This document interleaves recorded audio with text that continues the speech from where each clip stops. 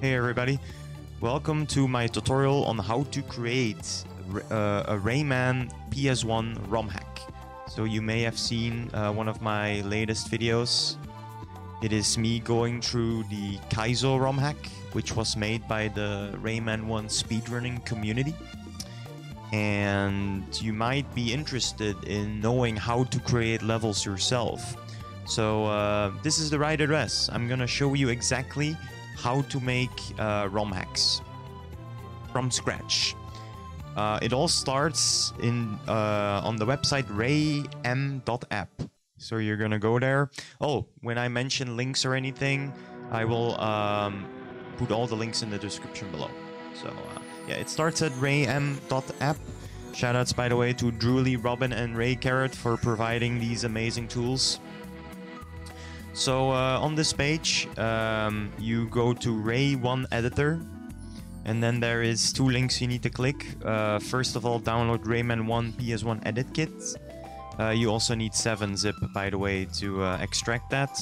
Um, so uh, make sure to get 7-zip. It's the best compressor or um, compression tool anyway, so uh, it's good to have. And then you're gonna click download latest version as well. And then here under the latest version, you're gonna go to assets and then you're gonna download the self-contained uh, version, which is the one I uh, recommend. Okay, so then um, after extracting them to a uh, to a folder, you are left with these three uh, items. So you have the self-contained, the tools folder, and the files folder. Okay, so you're gonna be opening uh, the self-contained uh, executable. And then you're gonna go to this screen. Uh, now this is not there normally, so you're gonna be uh, facing this screen right here. Uh, first of all, you're gonna go to Tools, Settings, and then uh, this Browse button here. You have to click it, and then you're gonna browse to your uh, Tools uh, folder that you extracted earlier, and then you're gonna click on mkpsxiso.x. You're gonna press Open, and then you can close the window. Uh, then you're gonna press this plus icon here in the middle at the bottom. Uh, you're gonna give a name to the ROM hack you're gonna create, uh, Kaizo or Evil or whatever the hell you want. So uh, let's just name one Kaizo, it doesn't matter. Uh, game mode you're gonna leave on US. And uh, game path, you're gonna go again to the folders you extracted. And this time you're gonna click on files and then you're gonna put select folder and then accept. Now, here it is. So this is all the levels you can go to. Literally every single level. Also the magicians, these are these bonus levels. So uh, let's, uh, for example, click on one, Pink Plant Woods 2. Double clicking it uh, opens it. Then uh, to move around, you use right click. You press and hold right click to uh, move around. And then there is, uh, at the top left, there is these three menus here. There is uh, layers, there is objects, and there is links.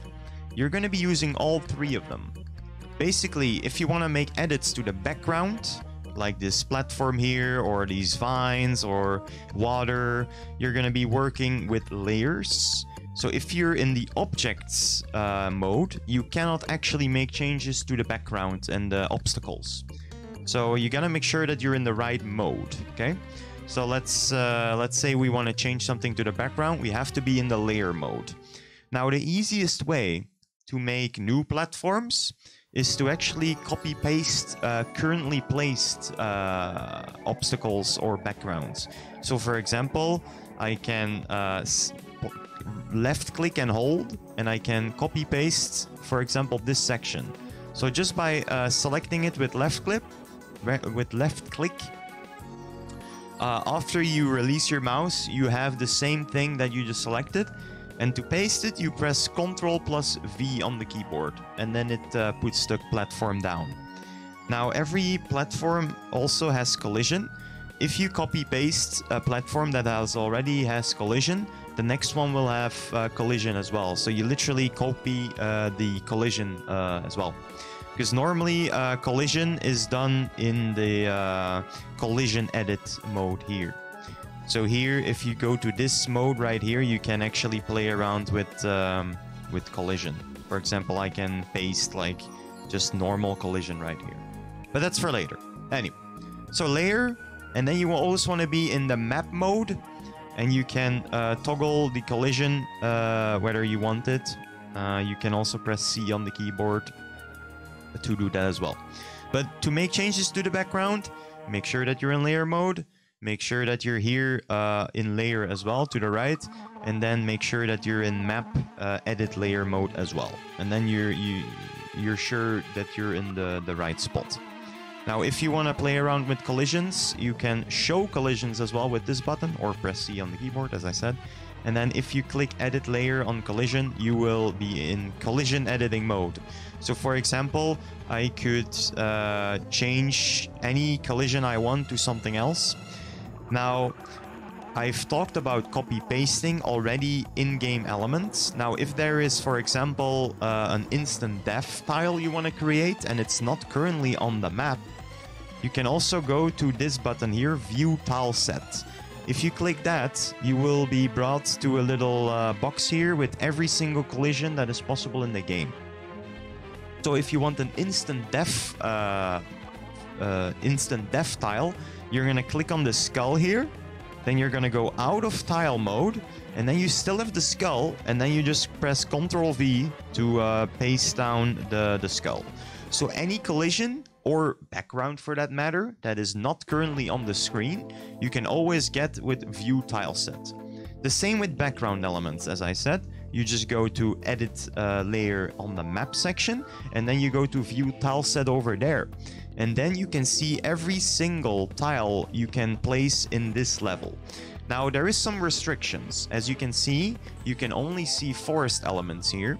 So you cannot place anything from Blue Mountains, you cannot place stuff from Mr. Dark's Dare, you cannot place stuff here from uh, from Picture City. So in that uh, aspect you are a bit limited, but there are still many, many possibilities.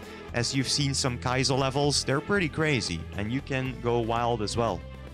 Um, so yeah, let's go out of tile set mode, like that.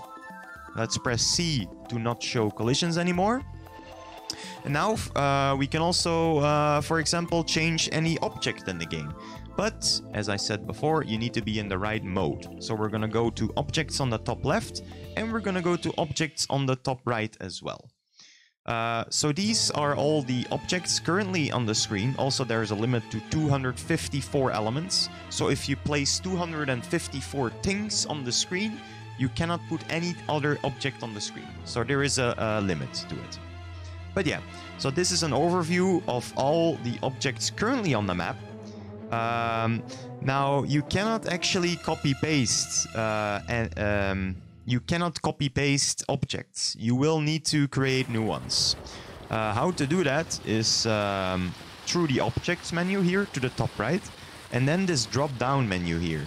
This uh, is a list of all the objects you can place in this specific screen and level.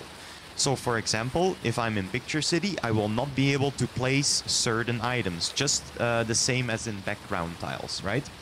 So uh, in this drop-down uh, menu, it lists everything you can use here. So for example, if you want to spawn a gold fist, I'm gonna click on gold fist and then I'm gonna press on this plus icon and then it's gonna spawn in the middle of our screen. And from there on, we can move it and place it wherever we want. If we want to place something else, uh, for example, we want to place a life or a 1-up, we're going to press on 1-up and then on the plus icon. And then we spawn a 1-up. And you can do that with all the objects in the game here. Um, now, there is also some values you can change here. I would recommend staying off them from the in the beginning. Also, I'm not that knowledgeable with the advanced options here. Um, so, but yeah, you can always play around with them and see what they change, you know. The, the, you're free to use that, uh, of course. Uh, then, well, you can delete stuff by pressing the delete key as well, but you first have to select it.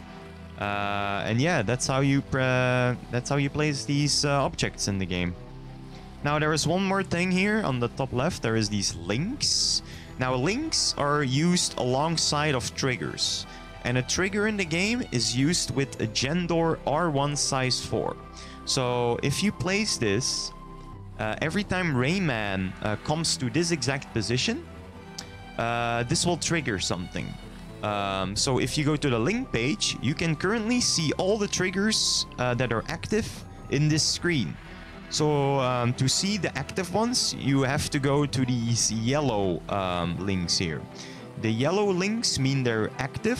The orange links mean they're means they're not active. So for example, this cage will always be on screen, right? From the moment you walk in line of sight, uh, the screen, the, the the cage will be there. Now these uh, yellow links, they will only come and spawn when you reach the gen door. So, for example, this gen door right here, this one was linked. If you reach this area, this anti-toon and this anti-toon will spawn. Now, if I would click on this yellow box, this means that it unlinks everything so right now, the anti-toons will just be spawned in from the get-go. If I click the thing again, it becomes yellow again. And that means it spawns again upon reaching this gen door, right? So that's how links work. You can also add as many thing, uh, as many things to the links as you want. I'm, i believe there is no limit to it, but you, your game might crash if you add too much. I don't know. Um, to add two links together, it can be a bit awkward. Uh, you don't you don't actually click the little box here. As you can see, it doesn't move. You have to click the item. So click and hold, and then you have to drag it towards a different box. Which, as you can see, is a little bit weird. My uh, arrow key is not actually lining up with the, the box, so I have to drag it a little bit further than you think. So when it's overwritten, you have to click it again to make it uh, both yellow. However, this won't do anything because there is no gen door attached, to it. So if we want to do something like that, we can add a gen door. So we're going to go to G here. Uh, G, G, G, G. See here. Uh, here, gen door, Rayman 1 size 4. And then as all objects in the game, we press the plus icon. It spawns in, in the middle of the screen. Uh, I can put it wherever I want. But to move it around, I have to go to objects again. Then I can move it around. I can place it, for example, here. I go back to links. I click and drag on this object, on this gen door, and I place it here. And then I click again to make the link complete. So right now I can move it wherever I want and the link will stay, okay? Uh, so and this means if I reach this point, this cage and this life will spawn in. And that is how links work. Okay? So then we covered backgrounds, we covered objects, and we cover links. Uh, and I think apart from that, you should be good to go to do most ROM hacks. So uh, I'll uh, keep it short here. If there is any questions on how to do stuff, you can always put them in the description below, no problem. Um, oh yeah, one more thing maybe. Uh, if you're done editing, you can always click this save button. Then there's going to be a second window opening up here. And when it's done, your ROM hack is made. So you press OK. And then you can go to the folders you uh, used or you extracted earlier. And now in the files tab, there will be a Rayman.cue and a Rayman.bin. And that is going to be your files uh, to run in an emulator. So if we boot this up in an emulator right now, it would have these changes we just made. And that is also how you test your ROM hack out, right? So you make the stuff, you load it into an emulator, uh, and then you can play your levels. Now, uh, something that is a pretty uh, neat idea, by the way, if you're, for example, testing a specific area in the game, I would recommend changing the Rayman spawn, once again with the objects panel. We drag Rayman, this is Rayman's spawn, by the way. It also says it in the top. Rayman's starting position. We can uh, put him, for example, here and then press save. And then, when we load up the uh, ROM hack, it, uh, it will start, you know, Rayman right here. So it's great for testing specific locations. Now, there is one more hint. If you use an emulator and you make a save state before entering a screen, uh, you're more likely uh, to make it uh, that it uh, that it keeps working because sometimes for example if you uh, save state in a screen and you make edits to the ROM hack and you load the save file that you saved with the previous ROM hack then it will uh, stop working immediately or maybe after two or three times. But if you make a save state when you're on the level select screen, so in the map in the overworld, uh, then it won't do this as much. Like sometimes it still bugs out, but it, it takes a while before it does. So you can make many ROM hack edits as long as you have a save state on the world map, right? Because uh, when it starts bugging out, you will have to reload the game from scratch without a save state and then make a new save state. Then make edits again uh, and then load the save state until it bugs out, and then you repeat the process, right? So you're gonna boot uh, the uh, the .cue file again from the beginning, make a new save state, make edits until it bugs out again, etc., etc. And that's how you're gonna do it. But yeah, this pretty much covers uh, everything uh, you need to know. As I said, these values you can play around with. And as I said before as well, if there is any questions or um, or anything, you can uh, leave a comment or join the Rayman Discord. I will also uh, link uh, link you to that in the description. And if you you know if you want to make a level and share it with the community, feel free. You know, uh, we'll be dying to play through your levels. So yeah, that's it. Hope you learned something, and thanks for watching. Peace.